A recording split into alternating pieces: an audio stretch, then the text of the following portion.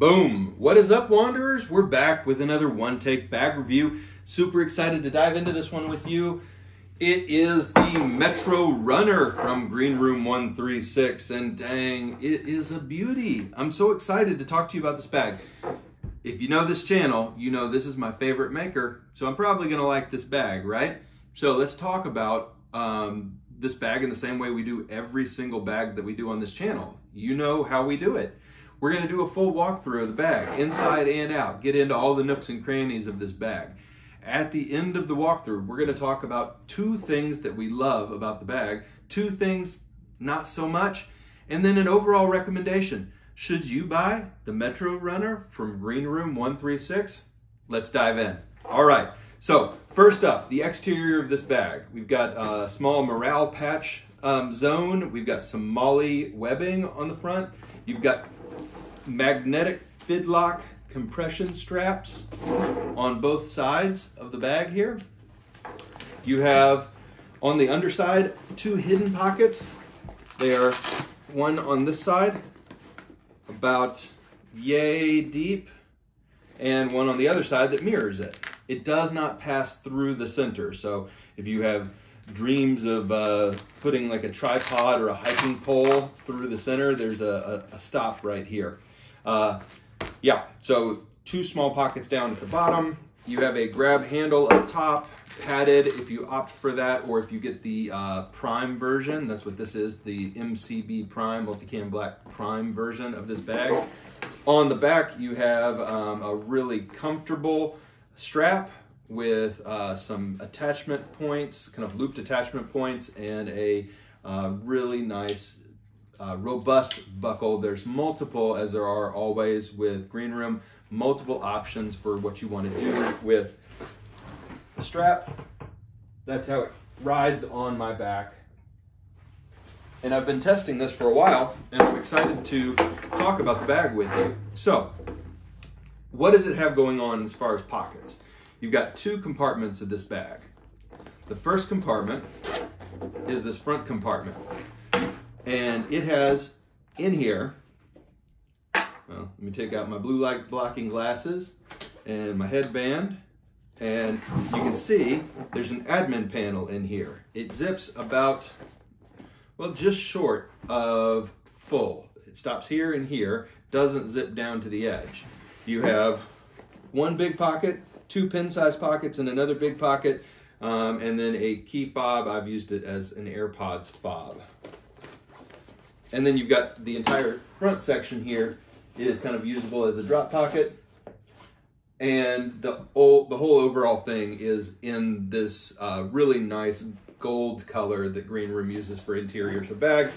Not as harsh as that orange that is so popular, um, but really nice high contrast interior. Now, main compartment. You can see that you've got a really usable midsection here. I've got battery backup in here, cords, headband, and then on the back side of the pocket, you have one big giant uh, iPad mini, not Nintendo Switch, iPad mini, maybe Kindle sized. I put an iPhone Plus in here, um, the slip pocket back here, and then another slip pocket here, um, which is uh, credit card sized. I put my SD cards in there. And then on the front, you have one, two, three pockets across the back. I've got my Osmo Pocket in there. I've got some spare cords in there and wallet and a little bit of cash in there. Um, but a pretty cavernous interior to this sling. All right, so those are the pockets. Remember we had these secret underside pockets as well. You got some D-rings on the back as well that I forgot to mention. Sorry about that. Uh, the bag does come with these uh, paracord pulls for the YKK zippers. Uh, honestly, they're just for visual appeal because the zippers themselves are plenty beefy and they all work really well. They are not waterproofed. These are not AquaGuard zippers. Uh, they're regular zippers. All right. So, and I should say the bag does not come with the carabiner. It does not come with this uh, um, kind of strap-on lightning cable accessory that I've attached to it, um, nor does it come with the morale patches. Okay, so let's talk about two things we really like about this bag. The first thing I really like about this bag is the interior storage. The pockets inside the main compartment, the one, two, three, four, five major pockets inside the main compartment, along with the one, two, three, four big pockets inside the admin panel section here. Perfect. Uh, incredibly useful, um, and because there's not a ton of space between the top, how do I explain this adequately? Um, there's about, the pockets go up about three quarters of the way, uh, the inside of the bag in every section, which means that only about one quarter of the way is left at the top, which means that um, you don't have items flapping around and slipping out of their pockets inside the bag. They're tight enough to hold things in place. And that's been my experience walking around, going on hikes, and walking in cities with this bag. Uh, things stay where you put them, uh, which is really nice. The second thing that I really like about this bag is just how comfortable it is to use. So I've loaded this puppy up with all this stuff and my uh, gimbal as well. And, you know, my experience has been that it's incredibly easy to use. Sling on and off, pop on and off, uh, put right back on. Um, it, it is really, it sits in exactly the right place. It's plenty light material wise. Um, the grab handle is very nice and in exactly the right spot.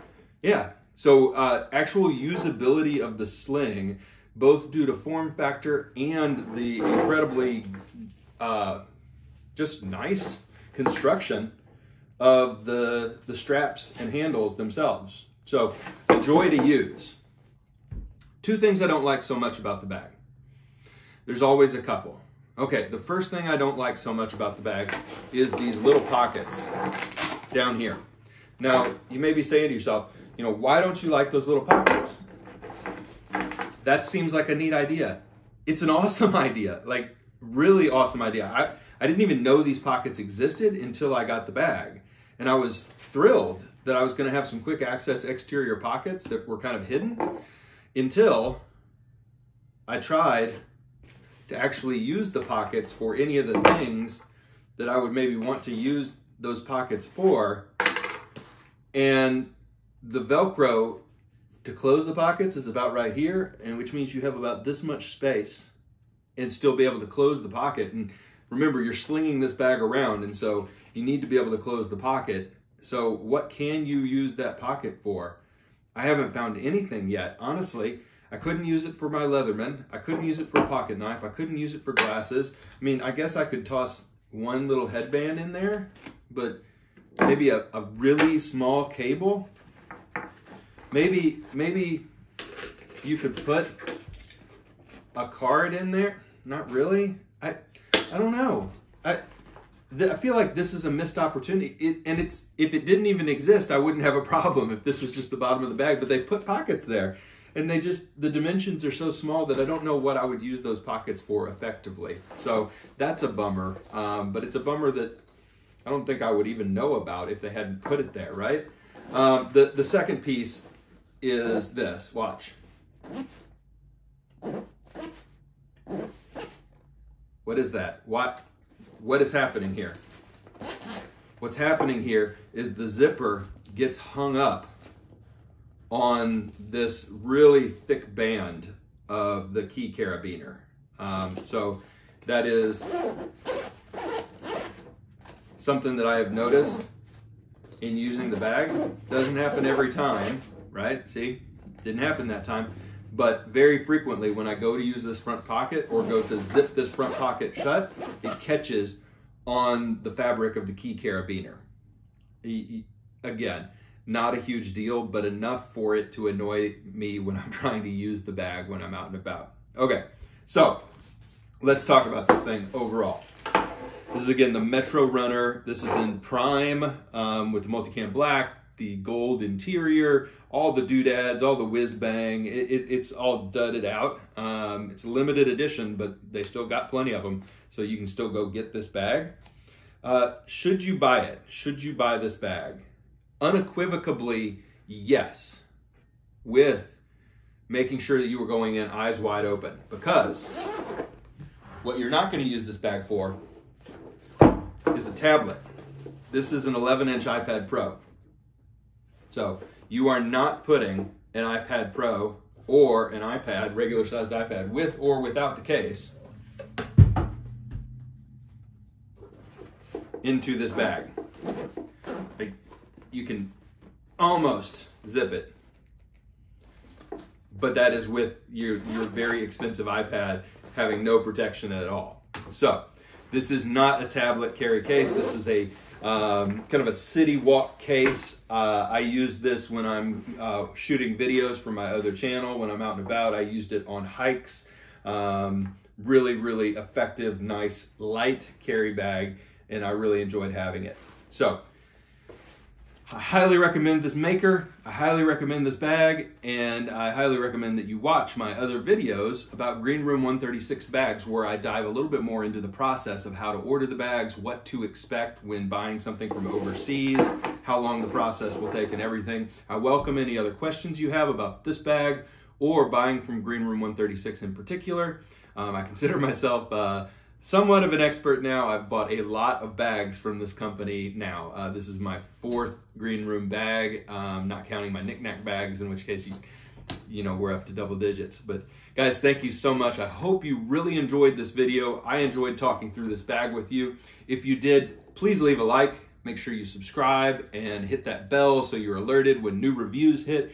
Um, and everybody, thanks for continuing to support the channel. We'll see you next time. Bye for now.